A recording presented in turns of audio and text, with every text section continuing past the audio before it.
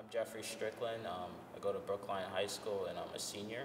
The Dream Far Marathon team, which um, is a bunch of high schools like Brookline High School, Newton North, Newton South, um, Charlestown, Urban Science Academy, and I think a few others. We just come together and we train for a marathon to run the Providence 26.2 marathon race, May 6th. Trying to play sports like football. I love playing football and then try to get all my schoolwork done and then run a marathon all together. It's kind of a bit crazy. Paul told me that you were, you've been accepted into three universities. Yes, um, Bridgewater State University, um, Mississippi State University, and University of Cincinnati.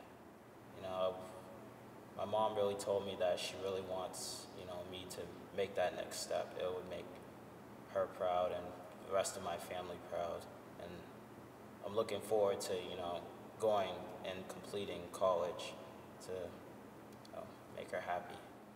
I do want to kind of like go out on my own adventure, you know, seek new opportunities and stuff like that. Just want to see a different, I want a new perspective of the world. You know, I, I just wanted to kind of let the world know that my family were good and we could be successful.